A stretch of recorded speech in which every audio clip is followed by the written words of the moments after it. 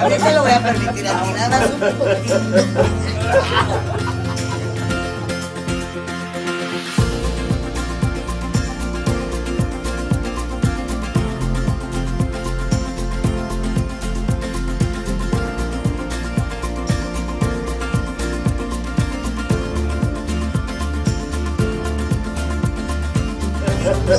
Ha ha ha!